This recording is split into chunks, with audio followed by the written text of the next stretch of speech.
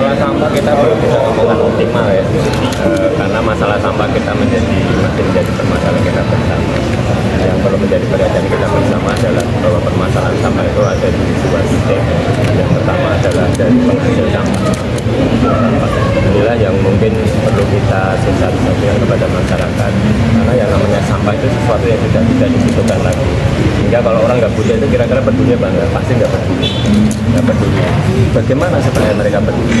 Ya kita harus mensosialisasikan bahwa yang namanya sampah yang kita sudah merasa tidak berguna yang kita sudah tidak butuh bahwa kalau kita tidak kelola dengan baik ternyata apa?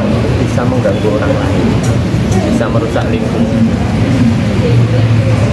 mengganggu orang lain. Mereka bagi akan mendolimi orang lain menyakiti orang lain membuat orang lain menderita.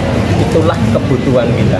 Kebutuhan kita supaya tidak mengganggu gimana itu akhirnya apa? Karena kita eh, punya menanamkan diri supaya tidak mengganggu tadi akhirnya apa? Berarti kita butuh kan? Kita butuh. Itulah yang harus ditanamkan kepada masyarakat kita bahwa kita butuh bahwa sampah yang kita hasilkan itu tidak mengganggu orang lain sehingga kita peduli bagaimana mengelola supaya tidak mengganggu orang lain yang kedua adalah dari sisi sampah yang sudah ada.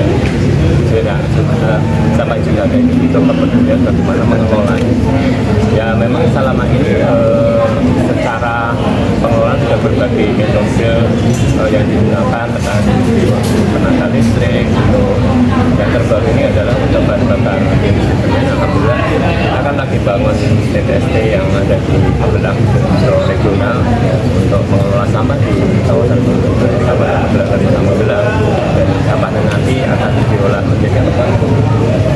catatan SDF, manajemen, eh, ya, inilah salah satu upaya kita.